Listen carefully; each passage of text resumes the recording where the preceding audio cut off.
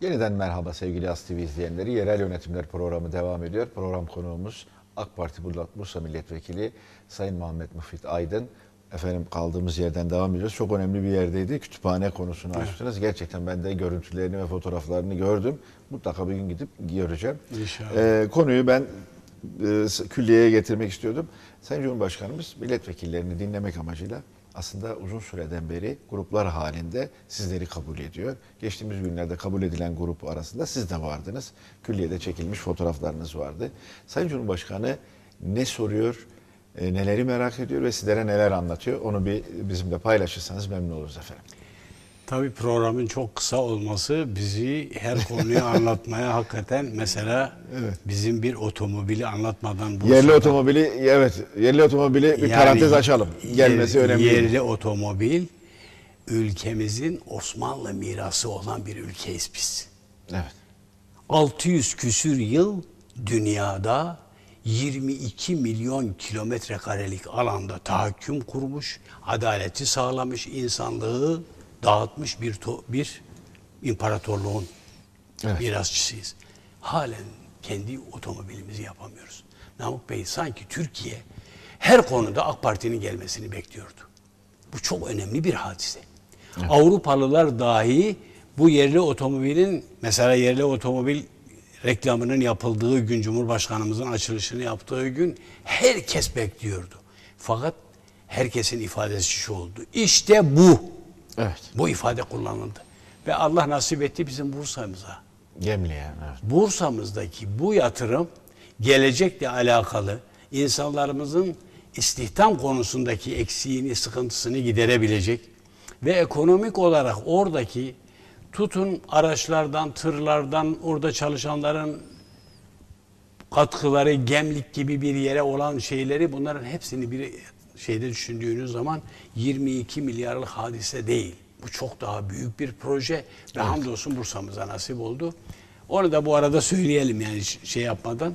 Şimdi Sayın Cumhurbaşkanımız bizi aşağı yukarı yılda bir sefer gruplar halinde. Çünkü çok fazla olduğumuz zaman da her konuyu anlatma imkanına sahip olamıyoruz. Evet. Biz evvelsi gün gidi toplantıdaydık. Dün değil evvelsi gün. Cumhurbaşkanı bütün milletvekillerine tek tek içinde ne varsa, sahada gördüğü ne sıkıntı varsa, problem varsa, kendi iliyle ilgili olsun veyahut da ülke gündemiyle olsun, genel şey manada olsun. Çünkü milletvekili sadece seçildikten sonra Bursa ile ilgili kararlar almıyor. Türkiye ile ilgili kanunlar geliyor. Bu kanunlar bütün Türkiye'yi. İlgilendiriyor. O kanunların içinde de milletvekili var. Onun için parlamenter sistemin esas önemi bu parlamentonun milletvekillerinin bir önemini daha ortaya çıkardı. Bu Cumhurbaşkanlığı sistemi. sistemi, evet. Bu neyi getirdi? Biz bundan sonra daha fazla milletle kucaklaşma imkanını elde etmeye gayret ediyoruz. Ve problemlerimiz, sorunlarımız neyse biraz önce söylediğim mesela bir doğal gaz. Bir hadise, bir ufak bir sorun olarak gözüküyor.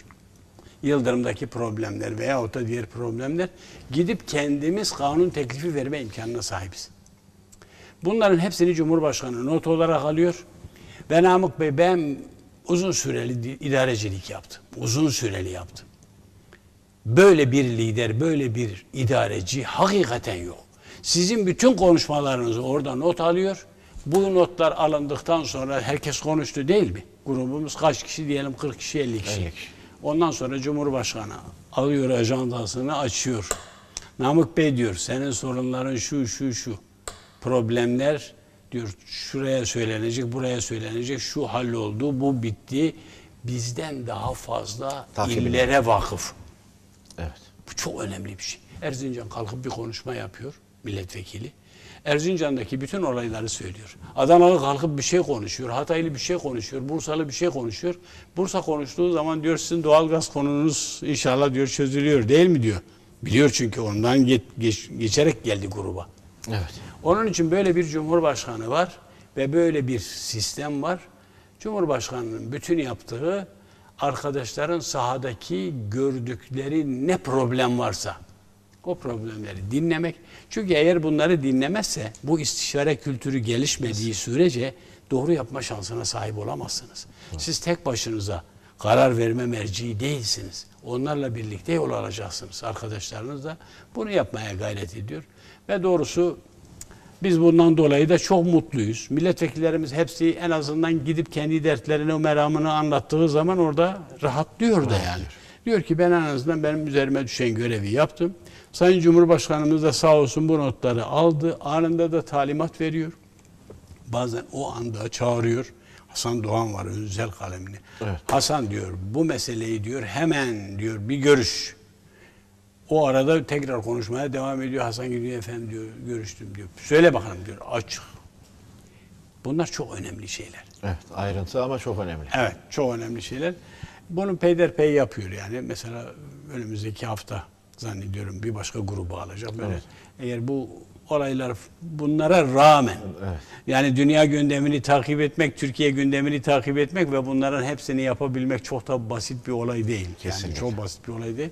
Allah ona sağlıklı ve uzun ömürler nasip etsin. Ülkemize hakikaten öyle birisi gerekiyordu. Hamdolsun geldi yani. Öyle Evet. söyleyeyim.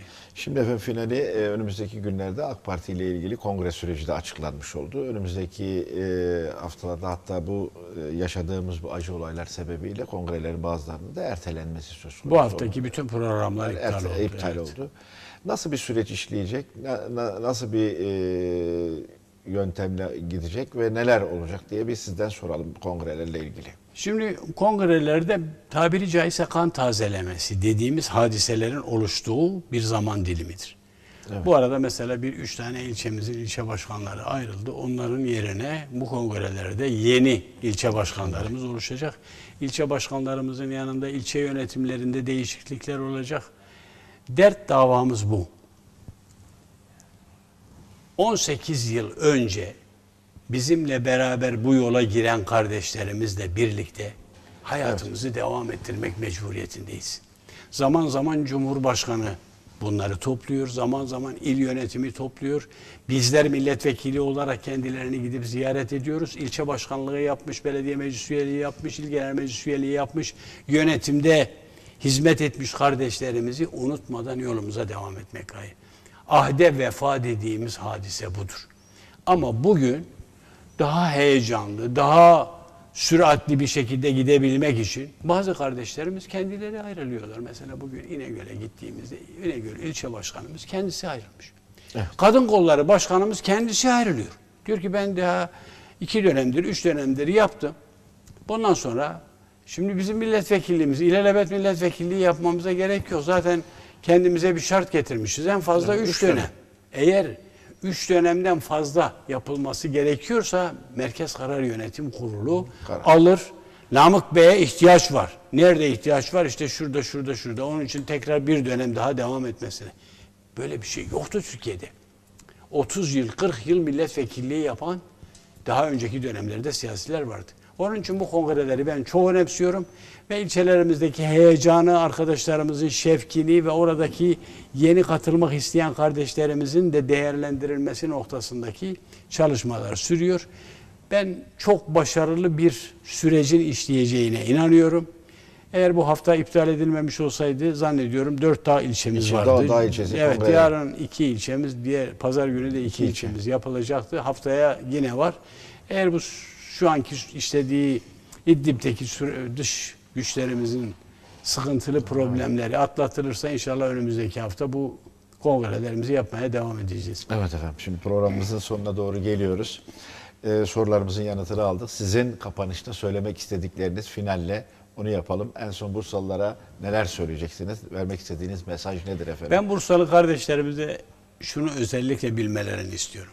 Kendilerini temsil etme noktasında onların hizmetkarı olan bir milletvekili grubu var. Öncelikle bu çok önemlidir. Bu en çok şikayet edilen konulardan biriydi. Evet. Bursa'nın lobisi yok. Ben size şunu söyleyeyim Namık Bey. Bir tek vatandaşımız dahi bize ulaşmakta sıkıntı çekmiyor. Ankara'ya geldiğinde veya buraya biz geldiğimizde mutlaka bize ulaşıyor. Biz bunu çıtayı çok yükselttik. Ben hatırlıyorum bir milletvekili kazandıktan sonra gider 3 sene 4 sene bir daha daha gelmez. Biz şimdi Cumhurbaşkanı'nın arzu, talep ve talimatları doğrultusunda ki bizim de bunu yapmak mecburiyetimizin olduğunu biz de biliyoruz. Her hafta sonu geliyoruz. Buradaki programları icra ediyoruz. Gelemediğimiz zamanlarda mutlaka bir görev verilmiştir. O görevleri ifa etmeye çalışıyoruz. Onun için Bursa'da kendilerini temsil eden çok samimi bir hizmetkar gruplarının olduğunu bilsinler.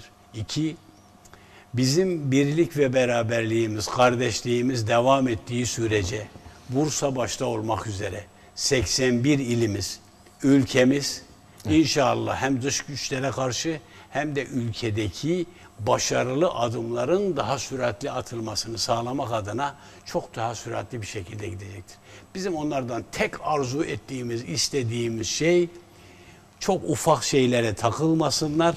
Kardeşliğimiz, birliğimiz, beraberliğimiz. Bugün Suriyelileri siz nereye koyabilirsiniz? Bunların vatanları yok, güvenlikleri doğru dürüst ülkemizde olmayanlar için güvenlik mi vardır? Ciddi bir bahsettik. Onun için ülkemize, Bursa'mıza sahip çıkacak bir AK Parti camiası vardır. Bu AK Parti camiasının da tek hedefi vardır. Bursa'ya ve Türkiye'ye hizmetkarlık yapmak. Bu duygularla hepsini saygıyla selamlıyorum. Teşekkür ederiz efendim.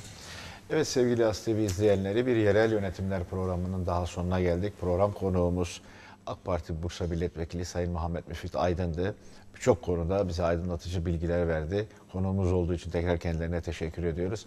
Ben programı kapatmadan önce e, İdlib'de şehit olan 33 askerimizi bir kez daha anıyorum. Türk milletinin başı sağ olsun.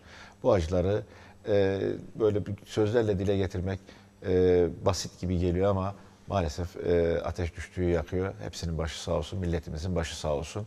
Haftaya yeni bir yerel yönetimler programında tekrar sizlerle birlikte olmak dileğiyle. Hoşçakalın efendim.